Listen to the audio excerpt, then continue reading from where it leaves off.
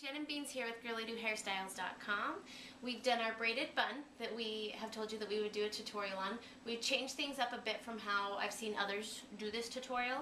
Um, I've tried to do it where I was using less bobby pins. When I was doing it before, I felt like I was using too many bobby pins. So what we did to change our style is I left more hair down underneath the donut bun so that we could add in to the other side every like third or fourth um, turn on the braid. So that way it held it down a lot more tight in the style. That way I was able to use less bobby pins. I still had to use them to hold down the bun. That is always going to hold your bun a lot more tight um, so that it's not loose up in there in the style. So make sure that you do that when you're doing this style. And here it is. Go ahead and turn back. We love this style. This is one of our favorites. Keeps her hair out of her way. She can run and play and have a good time. And we've also cut Bean's hair.